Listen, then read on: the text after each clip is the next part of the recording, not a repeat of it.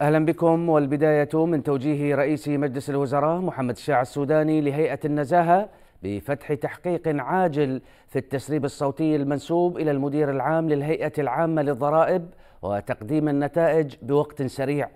رئيس الوزراء وبحسب بيان لمكتبه الإعلامي أشار إلى أن ذلك يأتي من تأكيده على مكافحة الفساد التي تمثل إحدى أهم أولويات البرنامج الحكومي.